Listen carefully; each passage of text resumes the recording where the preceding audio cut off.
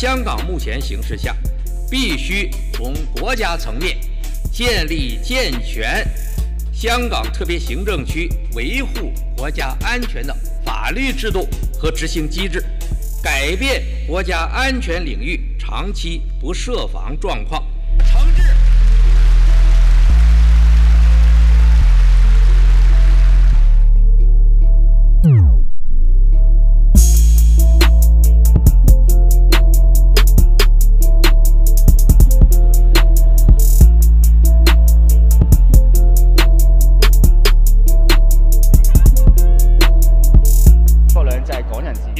Supposed to be Hong Kong people ruling Hong Kong, but with the new security law, it has changed entirely.